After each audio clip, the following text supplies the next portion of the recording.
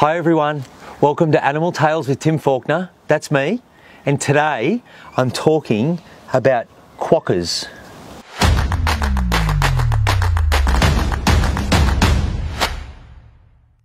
Now, quokkas are, I guess you would call them a small kangaroo, but they're quite unique. Now, they used to be found on the West Australian mainland, down in the southwestern corner of Western Australia, and there's still a few there. But their safe haven is Rottnest Island, and it's offshore, as the name suggests. It's an island. It's called Rottnest because the island was found by Dutch explorers in the 1600s and they called it Rottnest Island, which in English means rat's nest.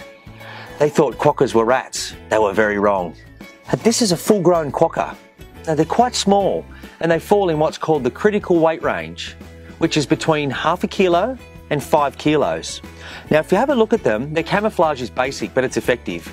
They're brown and they blend in with the bush. They've got those little black beady eyes and their eyesight is average. Not too good, not too bad a keen sense of smell. Their ears are really good for hearing. They've got little hands that are quite dexterous, so they can grab their food and bring it to their mouth and eat it.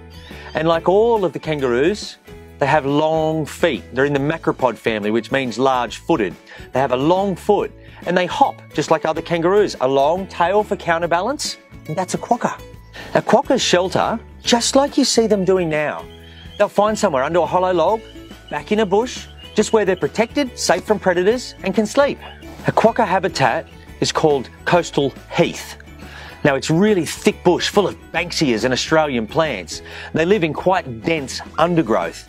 Now that protects them from their predators, but in actual fact, quokkas are now endangered and their main refuge is that offshore island, Rottnest Island. Their main threat is the feral fox and the feral cat that was introduced by Europeans. And this might have worked many years ago as protection from predators, from Tasmanian devils or native quolls that are mus- carnivorous marsupials.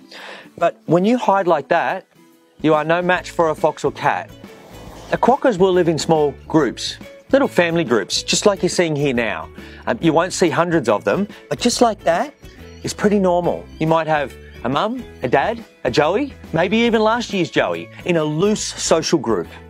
Our quokkas eat vegetation. Now it could be fresh grass, grass roots, some leaves on young plants, even a few flowers if they're flowering at the right time of year. Now here's a fun fact for you. A couple of years ago, quokkas were voted the happiest animal on earth. And that's because when you look at them, they've got a little smile and they're pretty happy. Now I really like that because when you're a conservationist and you care about animals, you need people to love an animal. And the world loves quokkas. And you know what that means to me? That Quokkas are already endangered. But if things got even worse for quokkas, the world is going to care. People love them because they're the happiest animal on earth. And so every time you kids do a project on an animal, you learn something about that animal. Today it's quokkas. And every time you do that, I know that now a little part of you knows more about quokkas. That's a good thing. The quokkas are marsupials.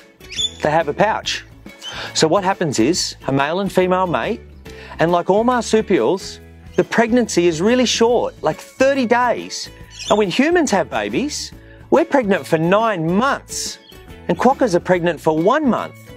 But when that little Joey is born, it's like a little jelly bean. And it climbs up into the pouch and it attaches to a little teat. Now, teat is like the nipple, and it suckles from that. And it grows into a little quokka in the pouch.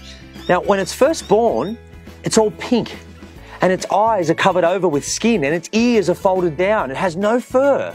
But as it grows, its fur grows and its eyes open and its ears lift off its head and it turns into a little quokka. Two bits of homework. The first one is a drawing. I'd like a life cycle of a quokka. Now let's start with two males fighting. And they don't fight like big grey kangaroos where they stand tall. But we've got two little male quokkas that are grabbing onto each other and kicking each other. And then we've got mum and dad. And then we've got a Joey being born. And then we've got it in the pouch. And then we've got it standing next to mum. Please do that. And the next one is, so quokkas live in Western Australia.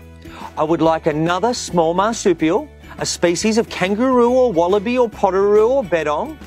I'd like one that lives in um, two different states in Australia, maybe another one in South Australia, another one in the Northern Territory, or another one in Queensland. There's so many.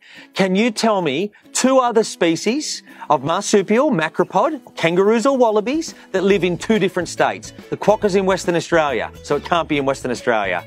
Thanks for watching again. I'll see you next time.